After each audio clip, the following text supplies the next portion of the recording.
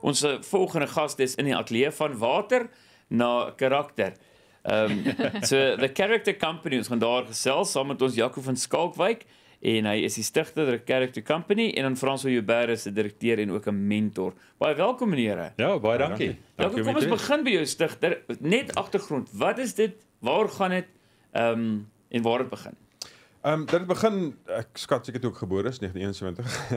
uh ek het daar weer gepa groot geword. So pa wat nie wat nie by die huis was um, gereeld nie en so die impak daarvan op my lewe um, groot gevoel. Dit is uh, dit, dit het 'n groot impak gehad.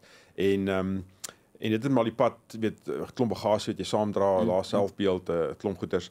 En ek is so 22 jaar al in in NGO spasie. En ehm um, en besef ook daar net die groot impak van wat in ons land aangaan en hoe hoe dit is om dit daar nie ehm um, positiewe manlike rolmodel in ons kinders se lewens is nie mm. en veral in seuns se lewe nie. Ja. En so dis waar ons besluit het so 6 so amper 7 jaar terug wat ons iets moet doen. Iets iets wat nie ehm um, die simptome adresseer nie, maar wat aan die begin begin werk. Is hoe verhoed ons hierdie goeters? Mm. En so dis waar die kerk te kan begin het. So ons doen langtermyn mentorskap vir jong seuns wat sonder paas groot word. Jou pa se impak is tussen die die die grootste impak is dis nie ouderdom van 5 en 10 jaar oud. Mm. So ons werk in daai spasie as 'n inname en dan as jy in is dan skep ons 'n kultuur van mentorskap en so dan bly jy. So jy kom in as 'n 5-jarige en dan gaan jy tot jy 105 jaar is. So dan kan jy aanhou en dan jy word nou deur die program en dan word jy mentor jouself en so mm. en dis intensief. Dis dis langtermyn. Dis dis werk met seuns is aktief. Ehm um, seuns word een keer 'n week gesien deur groepe, dis soos mentors soos um, François wat ehm um, sy groep sien een keer 'n week. Um, ons doen baie kampe, aktiwiteite. So dis ons is in die spasie daar. Ons is ons probeer instap daarso en ons ons veg vir die harte van ons seuns. Mm. Uh Frans, hoe het jy betrokke geraak?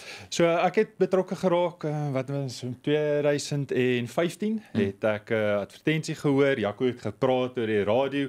Um en ek nog altyd daai passie gehad om betrokke te raak by by kinders. Mm. Um en toe hoor ek dit en ek gaan luister na hoe daar 'n praatjie van hom En Jakob wou eintlik my nie deel gehad het van die kerk te kom. Ek vertel altyd hierdie storie, dit is vir my baie interessant. Sê maar Frans, as jy regtig dit is 'n langtermyn. Ek sê vir ja, ja Jakob, waar teken ek? Ja, maar as jy regtig wil jy dit doen? Ek sê ja nee, ek wil dit doen. En ek het daar betrokke geraak. Ag en ek moet sê die laaste 4 jaar wat ek nou al saam met die kerk te company is, die die invloed wat wat ek op die seuns gehad het was great, maar ek moet sê die invloed wat die character company op my as man en as mens gehad het mm. is ongelooflik. Sjoe. Ek gaan julle onderbreek dan want ons het hier nou baie meer tyd want ek wil presies prakties ook uitvind hoe dit werk en hoe ook hoe mense kan ook betrokke raak. Hmm. Um, en 'n bietjie statistiek want ek dink dis die skokkende ding. Ja. Ek dink nuwe babas wat gebore was laas jaar, 61% van daai babas het nie 'n pa op die geboortesertifikaat nie. Jy weet wat sê wat se chaos ons sit in die land. Saam met my wat my gaan help, um the character company want ek het nou 'n tantrum gegooi, Jaco van Skalkwyk stigter uh, en dan direkteur en ook 'n mentor en dis Frans Weber. Welkom weer. Ja, baie dankie. Dis ja. lekker om saam met julle te kuier vanoggend. Was my reaksie nou reg as as julle my moes kon mentor raad van soos 'n vaderlike figuur af? Ons sê altyd jy kan nie emosies help nie. Dit is daar, maar wat jy dan mee gaan doen, daar het jy beheer. So jy kan die emosies so uitleef, maar jy gaan nie uitstorm en het iemand aanval buite nie so. Ja, nee, nee, ek is weer regte pad so. Nog nie, maar ek dink as ek nou die AK as hulle dit voor my doen, gaan ek hulle ja. stoor. Maar dit net vir vir mense wat net ingeskakel het. Ehm julle het 'n maatskappy, ehm um, the Mentor Company. Julle help uh, seuns wat nie 'n pa figuur het nie. Baie interessant in advertensiebreker het nou uitgekom is nie ek het dadelik gedink dis weeskinders want ek dink daar's 'n verskriklike behoefte in Suid-Afrika rondom dit, maar dit is nie net ook kinders wat weeskinders is nie. Dis selfs ehm um, gewone huisgesinne wat die pa is net soos hulle altyd noem the absent father. Ja. So verduidelik net vir my so 'n bietjie van hoe vind julle seuns wat in die program inkom? So so die die beginsel is ons werk met seuns wat afwesige paas het. So ja. dit is daar daar's verskillende kategorieë, so of my pa se oorlede. Mm. Uh, in in 'n groot mate daar het ek daar daar het ek ek verstaan ook my pa nie daar's nie. Die leemte is nog daar maar ek verstaan dit. Mm. Ehm mm. um, die an, die ander kategorie wat moeiliker is is ek ek weet nie my pa se nie, my pa nog nooit ontmoet nie. Mm. Ehm mm. um, of my pa ehm um, ek sien my pa een of twee keer 'n jaar. Ehm um, en dan een van die ergere ene is uh is um, waar pa pa bly by die huis. Ehm um, pa pa se pa se 'n tenant at home basies, maar hy het nie ehm um, hy het geen insaag in die gesin nie. En so ek word twee keer dag herinner as ek vanoggend wakker word met Pasie Dani en vanaand as hy as ek bed toe gaan hy's nog nie by die huis nie dan word ek twee keer 'n dag herinner dat ek nie goed genoeg is nie. Mm. En dis die groot uitdaging. So dis die kinders waarmee ons werk. En ehm um, en dit kom uit alle agtergronde uit. Weet die die die probleem met afwesige paas of afwesige manlike rolmodelle het niks te doen met kultuur of taal of velkleur of waar ek bly of die bankbalans nie. Dit affekteer almal van ons. Mm. En so almal is um, almal almal word ingetrek. Ons sê as daar 'n seun is erns en statistieke heidaglik 67% van kinders ehm um, heidaglik word ehm um, sonder ehm um, of word in enkel ouerhuise groot. Mm. So wat ons nou gesien het in in in die werk wat ons doen is as jy vyf seentjies op 'n tafel neersit, vier van daai seuns gaan nie 'n pa hê nie of nie 'n positiewe manlike rolmodel in sy lewe hê nie. Sjoe. En die uitwerking daarvan is wat ons heidaglik in ons land sien. Dit is ehm um, mm. dis dis dis 'n lelike pad wat ons mm. wat ons skep, is 'n omgewing wat ons skep want ons nie betrokke is nie. Mm. En ehm um, en so ons ons werk in daai spasie. Ons gaan mm. sê ons gaan 'n positiewe manlike rolmodel daar insit. Ehm um, ons hart is regtig dat elke seun in die land 'n positiewe manlike rolmodel in sy lewe moet hê. Mm. Sy pa moet eers wees. Dis die eerste prys. Maar as die pa nie daar is nie, dan wil ons graag 'n mentor in daai spasie. Iemand moet probeer help. Seker jy moet daai kinders vang. Ja. Definitief. Uh Frans, as jy nou met jou ondervinding, weet as mentor, uh wat is waar sien nou die deurbraak? Dit klink snaaks want ek dink jy sit met 'n met 'n laaitie wat wat in homself uh, geveg het. Ja. Jy weet en en met julle program wat jy ewe skielik besef maar daar's die deurbraak. Daar het jy nou hom bereik. Daar herstel iets wat eintlik daai leemte vul. Ja, so ehm um, wat ons doen dit is aktiwiteitsgebaseerde mentorskap wat ons doen en ons en ons mentor die seuns in vyf waardes wat ons wat ons hulle leer. En die eerste waarde daarso ehm um, wat ons doen en waar ons die grootste deurbraak sien op 'n 'n week se aktiwiteit is ehm um, dit van moed, van courage. Mm. Nou wat ons sê in courage en in ons definisie van courage is, is to face your fear and conquer it. Mm. So wat ons doen met die seuns is ons vat hulle na 'n veld toe en ons gaan ry fiets of mm. ons gaan klim berg en of of mure. En dan wanneer jy daai vrees in daai seuns se se oë sien van maar ek het hierdie nog nooit gedoen nie. Hoe gaan ek teen hierdie muur uitklim? En jy help hom en is daai deurwag van o, oh, okay, maar daar ek het nou 'n mentor in my lewe. Daar is 'n 'n Ankel François soos wat hulle my noem mm. wat my gaan vashou om hierdie muur uit te klim. Dat mm. dis die groot deurbraak wat ons sien. Sure. Dan die ander dan die ander deurbraak of die ander waarde wat ons hulle leer is dit van vriendelikheid, van kindness, mm. to show that you have a good heart.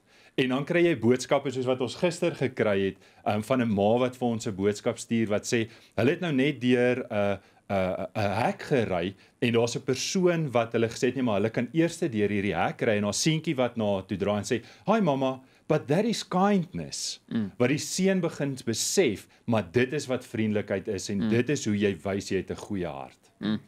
klein goedjies nê ja dis ongelooflik en dan is julle eh, ek bedoel julle borge nodig om te doen wat julle doen Ja, soos jy gesê is 'n NGO. Totaal um uh registered non-profit and public benefit organisation, ja. soos hulle dit noem.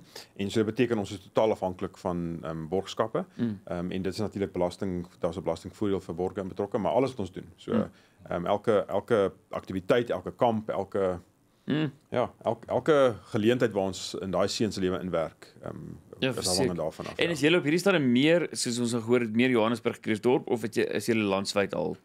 Ons is landwyd. Hmm. Uh dalk binnekort Afrika. so Ja, dis fantasties. Uh, so ons het maar ons het begin in in in Gauteng, so dis waar die grootste mm. die grootste um, konsentrasie um, is. Ja. Heidiglik is ook waar ons ek dink met 150 seuns op 'n waglys sit op hierdie stadium. Yes. Omdat ons program so de so afhanklik is van mentors, van positiewe ja. manlike rolmodelle soos Fransjo wat wat deurbreek deur die is jy seker is jy seker is jy seker en dan gaan mm. ek is seker kom ons doen dit. Ek weet nie hoe nie maar ek gaan dit doen. Mm. Ehm mm. um, en dit ehm um, en so in Gauteng is dis ook maar waar ons ons leer dis dis al vir ons proefbuise en ons goed uitwerk maar op hierdie stadium het ons ook in die Wes-Kaap. Mm. ons het uh, by skool in die Oos-Kaap in. Ons het laasweek um, in 'n klein uh, wat mense rural village in Kluvukani dan moet Malanga het ons begin ek vlieg vandag ehm um, Greytown toe ons begin in KZN mm. en dan lyk like my ons is dalk vir die einde van die jaar in Botswana so hierdie is hierdie is ehm um, pro, uh, program partners, mense wat ons kontak as jy luister, ons ons doen 'n sekere ding, maar ons ons kan nie mentorskap doen nie. So ons het hmm. julle nodig daarso so en nou sou ons hande vat. Ook met skole waar ja. ons dan probeer om te sê ons sal inkom en ons sal help met daai daai aspek van wat julle doen. Hmm.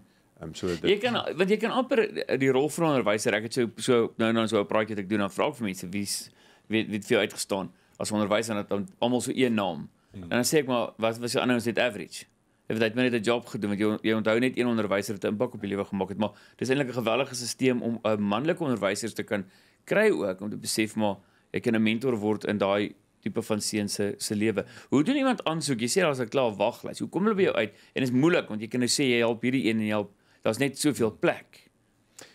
So ons ons inamper proses werk deur ons deur ons um, webtuiste. So jy gaan hmm. na, na ons webtuiste toe en dan's daar 'n blokkie wat sê enroll my son. Okay. En so so so ma's daar buite wat ehm um, wat enkel ma's is of wat daar nie positiewe manlike rolmodel in 'n seun se lewens is nie. Uh, tussen die ouderdom van 5 en 10, dis ons inname.